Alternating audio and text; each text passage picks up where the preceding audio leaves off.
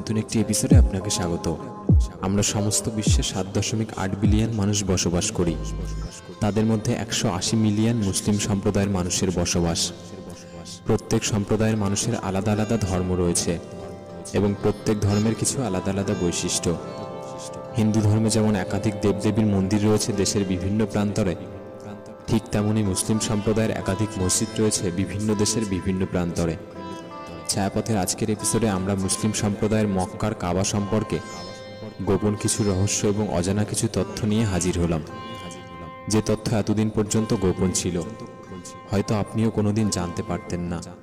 ভিডিওটি শেষ পর্যন্ত দেখতে থাকুন। ভালো লাগলে অবশ্যই একটি লাইক করে আপনার মূল্যবান মতামত আমাদের কমেন্ট করে জানাতে পারেন। চলুন শুরু করছি।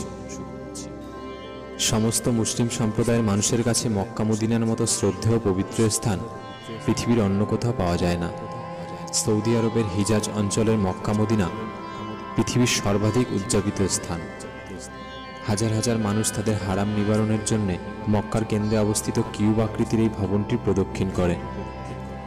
কিউব আকৃতির এই ভবনটি মানবজাতির ইতিহাসে সর্বাধিক সুপরিচিত রিয়েল এস্টেটের কেন্দ্রস্থল। কিউব আকৃতির এই ভবনটির নাম কাবা। কিন্তু এই কাবা মসজিদ সম্পর্কে অনেক তথ্য আমরা জানি না। আমরা যে কাবাটি আজ দেখতে পাই, নবী ইব্রাহিম ও ইসমাইলের সময় নির্মাণ করা হয়েছিল। তবে বর্তমানে যে কাবাটি দেখতে পাই, সেটি কিন্তু হুবহু পুরনো কাবার মতো নয়। প্রাকৃতিক ও মানব সৃষ্ট বিপর্যয়ের পর পুনর্নির্মাণ করার প্রয়োজন হয়েছিল। কয়েক শতাব্দী ধরে বহুবার পুনর্গঠন করা হয়েছে। সর্বশেষ কাবা মসজিদটি উনিশশো ছিয়ানব্বই সালে মেরামত করা হয়েছিল এবং অত্যন্ত পুঙ্খানুপুঙ্খভাবে তৈরি করা হয়। পুরনো কাবা মসজিদের থেকে উন্নত মানের পাথর এবং পুনরায় একটি মজবুত ছাদ তৈরি করা হয়। সম্ভবত বহু শতাব্দী পর পুনর্গঠন হতে পারে, ইনশাআল্লাহ। কারণ আধুনিক প্রযুক্তিতে তৈরি করা কাবা পুরনো কাবার থেকে যথেষ্ট সুরক্ষিত এবং স্থিতিশীল। নবী ইব্রাহিমের সময়কালে যে কাবাটি তৈরি করা হয়েছিল, তার দুটি দরজা ছিল, একটি প্রবেশের জন্য, একটি প্রস্থানের জন্য, সাথে একটি জানালাও ছিল। তবে আপনারা বর্তমান কাবা মসজিদে দেখতে পাবেন একটি দরজা এবং কোনো জানালার উপস্থিতি দেখতে পাবেন না। আমরা কাবা মসজিদের রং বরাবর কালো রঙের দেখতে অভ্যস্ত। আমরা ধারণাও করতে পারি না কাবা মসজিদের রং অন্য হতে পারে। তবে আপনারা জানলে অবাক হবেন আব্বাসীয়দের সময়ে কাবা মসজিদের রং সবুজ লাল এমনকি সাদা সহ একাধিক রঙে আবৃত ছিল। হজরত রাসুলাল্লাহ সাল্লাল্লাহু আলাহি ওয়াসাল্লামের সময় মক্কার হজের অনুষ্ঠানের প্রতিটি দায়িত্ব ছিল কুরাইশদের বিভিন্ন উপগোষ্ঠীর হাতে।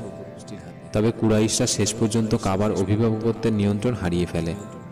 মক্কা বিজয়ের সময় নবী সাহেবকে কাবার চাবি দেওয়া হয়েছিল। কিন্তু তিনি চাবিটি নিজের হাতে না রেখে বানি সাহিবা পরিবারের ওসমান ইবনে তালহাকে ফিরিয়ে দেন। তারা বহু শতাব্দী ধরে কাবার মূল রক্ষক ছিলেন। নবী সাহেব তাদের উদ্দেশ্য করে একটি বাণী প্রকাশ করেন।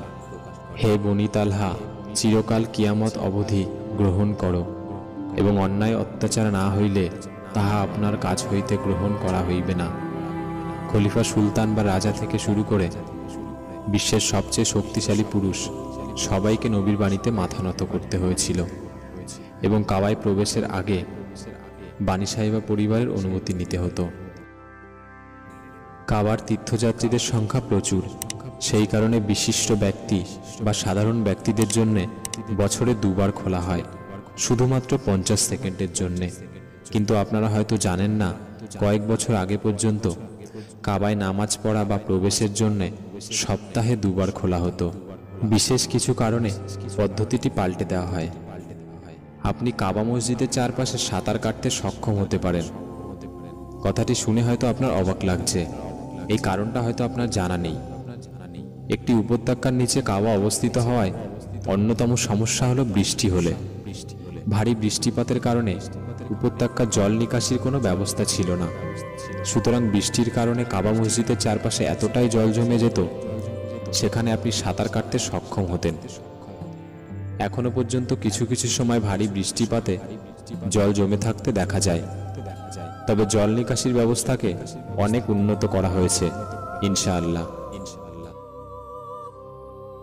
কখনো আপনারা ভেবে দেখেছেন কাবায় উপস্থিত থাকায় ব্ল্যাক স্টোনের চারপাশে রূপালী আবরণ এলো কোথা থেকে? কেউ কেউ বলে থাকে, উমাইয়া সেনাবাহিনীর দ্বারা মক্কার অবরোধ করার সময় ব্ল্যাক স্টোনের চারপাশ ভেঙে দেওয়া হয়েছিল।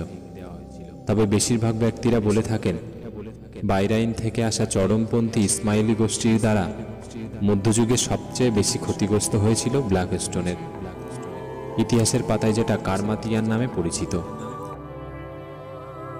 যে বা যারা ঘোষণা করেছিলেন মক্কার হজটি কুসংস্কার, তারাই হাজার হাজার হুজ্জাজকে হত্যা করে তাদের লাশ জামজামের কুয়োয় ফেলে দেয়। এবং ওই আক্রমণকারীরা ব্ল্যাক স্টোনটিকে পূর্ব আরব ও তারপর ইরাকের কুফায় নিয়ে গিয়েছিল। বিনিময়ে প্রচুর টাকার মুক্তিপণ আদায় করেছিল। তারা যখন ব্ল্যাক স্টোনটি ফিরিয়ে এনেছিল, তখন এটি টুকরো টুকরো হয়ে যায়। তখন ব্ল্যাক স্টোনটি আটকে রাখার উপায় ছিল রূপোর আবরণে আবদ্ধ করা। কিছু ঐতিহাসিকগণ মনে করেন এখনও কিছু পাথরের টুকরো রূপালী আবরণ থেকে গায়েব। আজকের কাবা সম্পর্কে এই তথ্যগুলি আপনার কতটা বিশ্বাসযোগ্য বলে মনে হয়? আমাদের কমেন্ট বক্সে অবশ্যই কমেন্ট করে জানাবেন। একটি লাইক করে বন্ধু ও পরিবারে শেয়ার করে তাদেরকেও জানার সুযোগ করে দিন। আপনি যদি এরকম তথ্যসমূহ রহস্যজনক ভিডিও দেখতে পছন্দ করে থাকেন চ্যানেলটি অবশ্যই সাবস্ক্রাইব করে পাশে থাকা বেল আইকনটি প্রেস করে রাখবেন। দেখা হচ্ছে পরবর্তী এপিসোডে আল্লাহ হাফেজ।